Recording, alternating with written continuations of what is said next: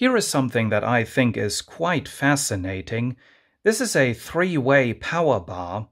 This was hanging next to a window for the last 10 years at least, possibly even the last 20 years.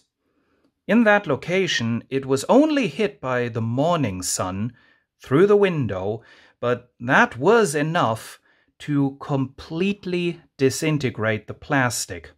You can see there is a hole right there. There shouldn't be a hole right there. And this hole was punched into the plastic while operating the switch.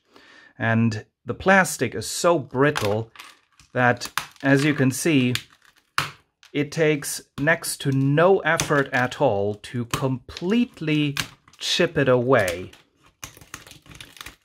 This whole entire thing, it's, it, it's like a cracker. It's literally like a cracker. This is fascinating. and it's quite fun as well. Now, electrically, this power bar was still functional, so there wasn't anything wrong with the switch. See, the switch is fine. It now sounds a bit crunchy because of the plastic dust all around it, but the switch was working fine, and of course there isn't really anything that could go wrong with these electrical contacts.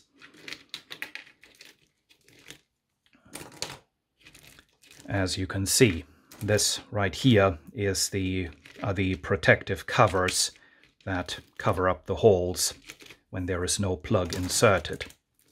So electrically, this was still working and the cable is perfectly fine. It's still nice and flexible. It's just this plastic that has been completely disintegrated by the sun. And see, the back, since this was facing away from the sun, it's kind of brittle around the sides.